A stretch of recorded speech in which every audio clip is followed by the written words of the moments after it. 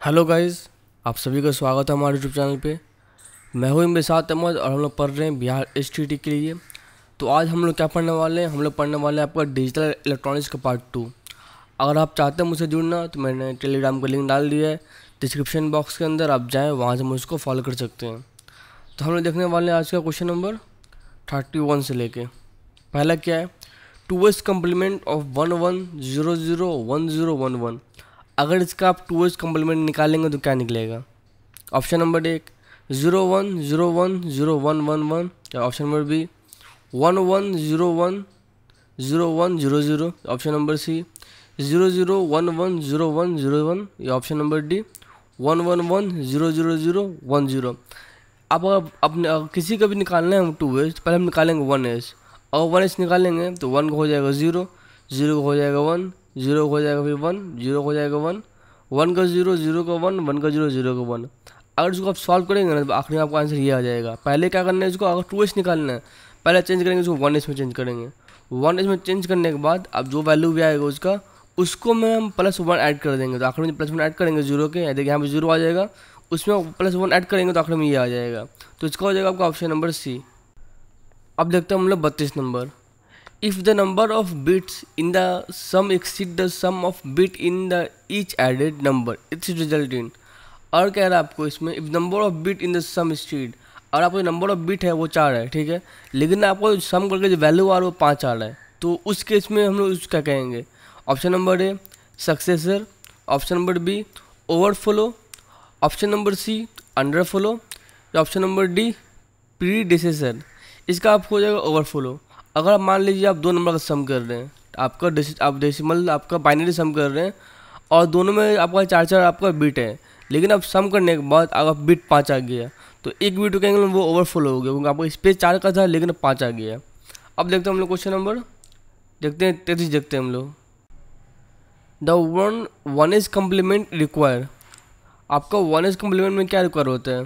Option number A one operation option number B two operation option number C three operation या option number D combined operation देखिए one is complement में आप सिर्फ़ एक operation को perform करते हैं।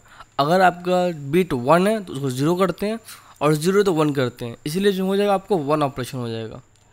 क्योंकि इसमें एक ही ऑपरेशन परफॉर्म हो रहा है। इसमें आपका एक ही स्टेप हो रहा है इसमें। अब देखते हैं हम लोग क्वेश्चन नंबर थर्टी फोर देखते हैं हम लोग। ये क्या कह रहा है आपका?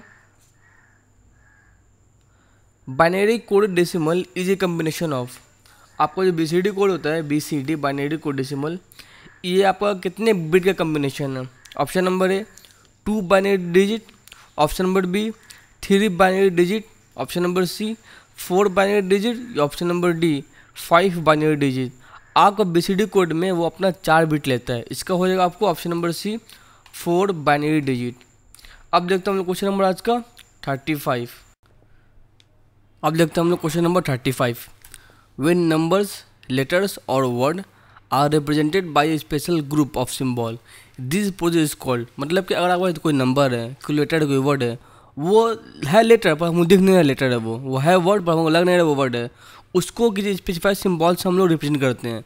तो इस पूरे प्रोसेस को हम क्या कहते हैं? Option number A decoding option number B encoding option number C digitising option number D inverting उसको हम लोग कहते हैं इनकोड कर देना। मतलब कि वो है तो आपका नंबर ही है, लेकिन हम लोग को लगे वो नंबर नहीं, कुछ और है, वो इनकोड है। ठीक है? अब लगता है हम लोग question number thirty six the expression Y equal to A plus B into B plus C into C plus A ये आपका एक्सप्रेशन दिया हुआ है। तो क्वेश्चन क्या है, वो एक्सप्रेशन इस सब चारों में से कौन सा ऑप्शन सही रहेगा एक्सप्रेशन के लिए? Option number A AND operation option number B POS operation option number C swap operation option number C D NAND operation आपका पॉस और स्वॉप क्या होता है? अगर पॉस होता है प्रोडक्ट ऑफ़ सम और आपका स्वॉप होता है सम ऑफ़ प्रोडक्ट तो ये क्या है आपका? ये आपका प्रोडक्ट ऑफ़ सम देख रहे हैं। बीच बीच बीच में क्या है? बीच में आपका सम है, और सम क्या हो रहा है? प्रोडक्ट ऑफ़ सम सम हो रहा है प्रोडक्ट हो रहा है सम का। तो इसका हो जाएगा आपका ऑप्शन नंबर बी अब देखते हैं क्वेश्चन नंबर थर्टी सेवन हम लोग।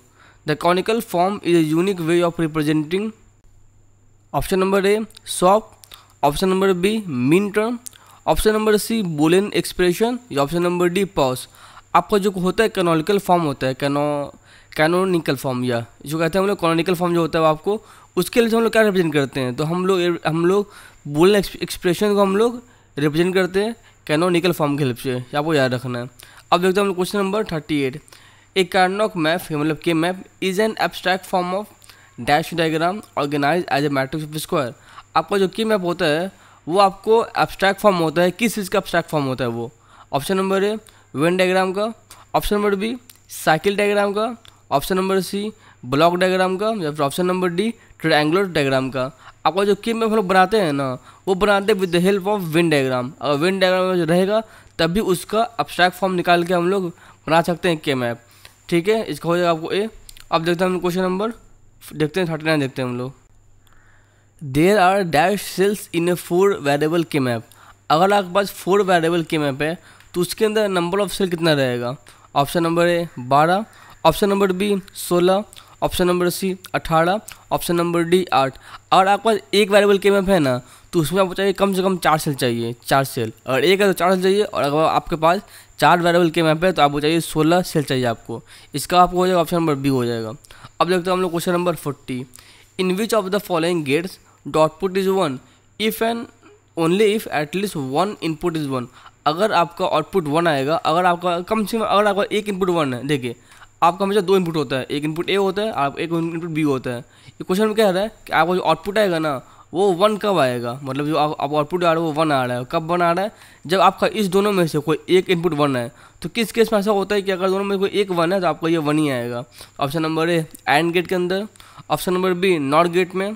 Option number C NAND gate, या option number D OR gate. देखिए, आपका जो होता है ना और गेट, वो होता है आपका ए प्लस बी होता है। और में हम लोग हम लोग प्लस करते हैं। मतलब अगर दोनों में एक भी वन रहेगा तो आपको आउटपुट वन ही आएगा, ये आपको याद रखना है। ठीक है? अब देखते हैं हम लोग question number forty one what is the minimum number of two input NAND gate use to perform the function of two input OR gate इसमें कह रहा है आपको क्या वो कितना कम से कम नंबर ऑफ़ चाहिए दो नैन गेट चाहिए, ताकि उसकी हेल्प से आप दो इनपुट और बना सकते हैं।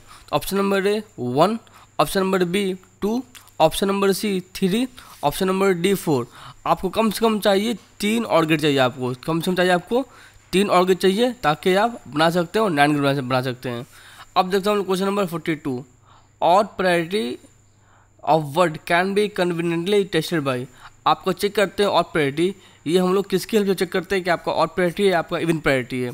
Option number A, OR gate, option number B, AND gate, option number C, NAND gate, या ऑप्शन नंबर डी आपका jaw gate.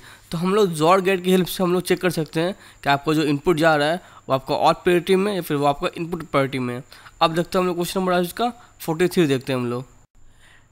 S S I refers to आपका जो होता है एस एस आई इसका फुल फॉर्म क्या होता है? Option number A small scale integration option number B short scale integration option number C small set integration या option number D short set integration इसका आपको होता है स्मॉल स्केल इंटीग्रेशन आपको इसका फुल फॉर्म एग्ज़ाम में बहुत पूछा जाता है, आपको याद याद रखना है। अब देखते हैं हम लोग question number forty four integrated circuit are classified आपका जो आईसी होता है, हम लोग उस आईसी को किस तरह क्लासीफाई कर सकते हैं? Option number A large small and medium option number B very large small and linear option number C linear and digital option number D non linear and digital हम लोग ऐसी को दो हिस्से में बांट सकते हैं। एक का नाम रहता है मेरा लीनियर ऐसी और एक का नाम रहता है आपका डिजिटल ऐसी इसका आपको हो जाएगा ऑप्शन नंबर सी आपका ये जो है ना वेरी लार्ज स्मॉल मीडियम ये उस आपका आई का होता है साइज़ आई का प्रॉपर्टी नहीं होता है। लीनियर प्रॉपर्टी और डिजिटल प्रॉपर्टी होता है। ये आपका ये आपका होता है बस साइज़ होता है। ठीक है? अब देखते हैं question number forty five the full form of D I P is आपका डी आई पी का फुल फॉर्म क्या होता है? Option number A dual in long package option number B dual in line package option number C double integrated package और option number D double in line package इसका आपको होता है dual in line package आपको याद रखना है D I P क्या होता है? ड्यूल इन लाइन पैकेज अब देखते हैं हम लोग question number forty six L C C refers to आपका जो एल सी सी होता है, इसका फुल फॉर्म क्या होता है? Option number A longest chip carrier option number B leadless chip carrier option number C leadless chip carrier या option number D, large chip carrier. आपको इसका हो जाएगा ऑप्शन नंबर बी हो जाएगा मतलब लीडलेस चिप कैरियर हो जाएगा इसका आपको, फोर्टी सिक्स का बी। अब देखते हैं हम लोग क्वेश्चन नंबर फोर्टी सेवन देखते हैं। P G A refers to आपका जो पी जी होता है, इसका फुल फॉर्म क्या होता है, आपको ये बताना है। Option number A, plastic grid array option number B, pin grid array option number C, pin greater array या फिर option number D, plastic greater array आपका इसका हो जाएगा ऑप्शन नंबर बी हो जाएगा। मतलब पिन ग्रिड एरे का हो जाएगा। अब देखते हैं हम लोग क्वेश्चन नंबर फोर्टी एट देखते हैं हम लोग। The full form of E C L आपका जो ई सी एल होता है, उसका फुल फॉर्म क्या होता है? ये आपका इंपॉर्टेंट है फुल फॉर्म है ई सी एल आपका। Option number A emitter collector logic option number B emitter complementary logic option number C emitter couple logic option number D emitter code logic इसका आप हो जाएगा आपको इमीटर कपल लॉजिक हो जाएगा। इसका आप हो जाएगा ऑप्शन नंबर सी अब देखते हैं हम लोग क्वेश्चन नंबर हम देखते हैं हम लोग फोर्टी नाइन देखते हैं हम लोग। Which logic is the fastest of all logic family आप क्वेश्चन पूछ रहे हैं, कौन सा लॉजिक फैमिली है? मतलब आपका कौन सा लॉजिक है जो कि आपका फास्ट काम करता है लॉजिक फैमिली के अंदर? Option number A T T L option number B E C L option number C H T L या फिर option number D D T L इसका आपको हो? जाएगा ना ई हो जाएगा। आपका जो ई एल होता है, वो आपको लॉजिक फैमिली में सबसे फास्ट काम करता है। अब देखते हैं हम लोग क्वेश्चन नंबर फिफ्टी देखते हैं।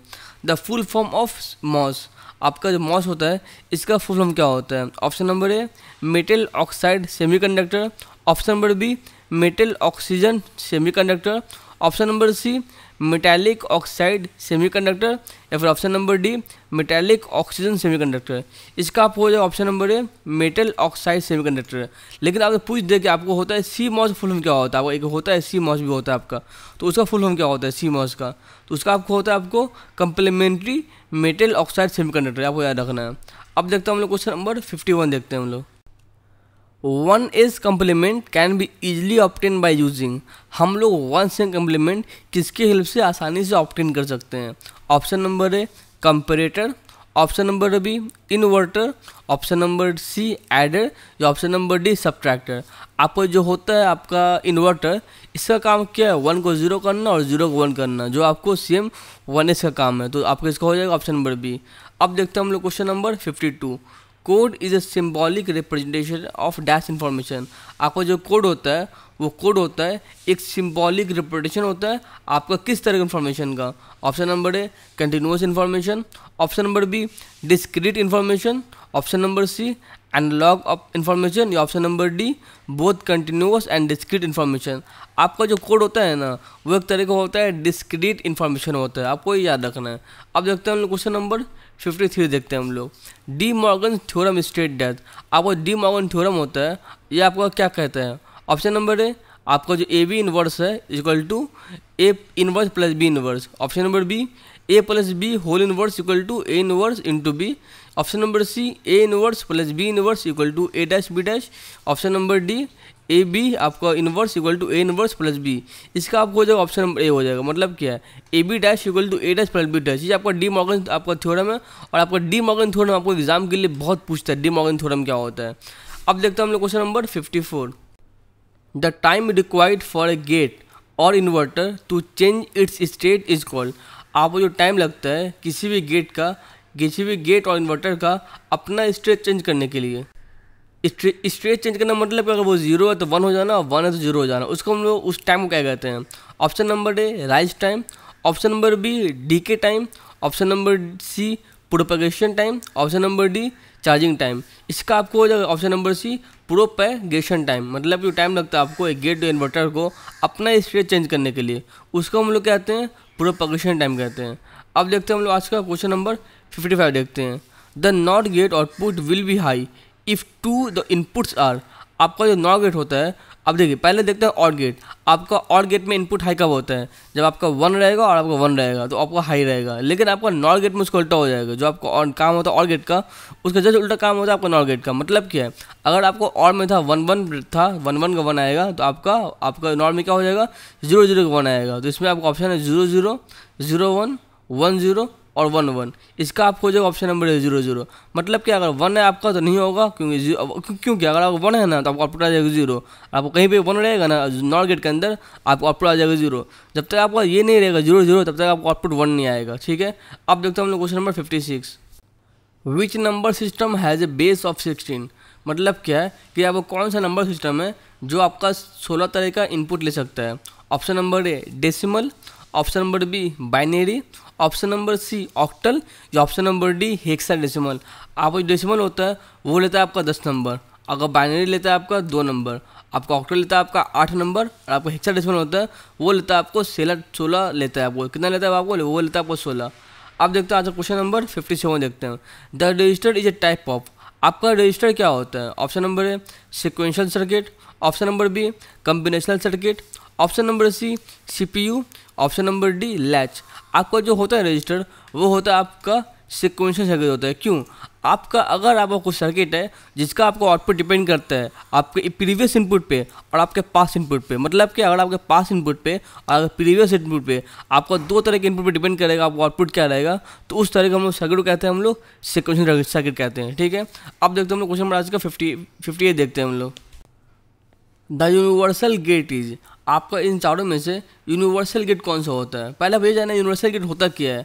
ऐसा गेट जिसकी हेल्प से आप सारे के सारे गेट को बना सकते हैं। उस गेट को हम लोग कहते हैं यूनिवर्सल गेट। तो इन सब में से कौन सा कौन सा गेट है कि जिसकी हेल्प से हम चारों गेट बना सकते हैं?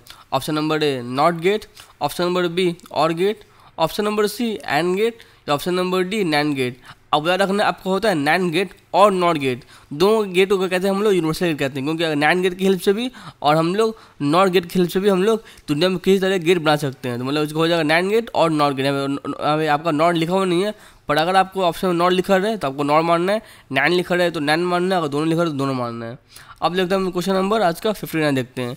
A full subtractor circuit requires dash आपका जो होता है फुल सब्ट्रैक्टर सर्किट होता है, वो आपको क्या रिक्वायर करता है? Option number A 2 input and 2 output. Option number b 2 input and 3 output. Option number c 3 input and 1 output.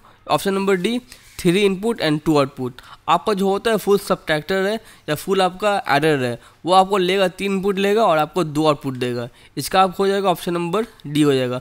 चाहे आपका फुल सब्ट्रैक्टर है, चाहे आपका फुल एडर है, दोनों आपको एक ही तरह का, आपको इनपुट और आउटपुट लेता है, ठीक है? अब देखते हैं आज का last question a decoder converts आपको होता है डी कोडर वो क्या करता है? उसका काम क्या है।